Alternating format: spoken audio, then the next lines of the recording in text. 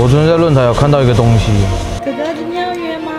那、你就去超商买那个买卡点数。哥哥涨了啦！我主管说你因为你是第一次，他要你先付押金，然后现在还差四千块钱。哎、他说要再付四千呢，四，先不要。无人安尼咧交易的啦，我跟你讲哦，我只要你的电话号码哦，我凊彩查就找得到人啦。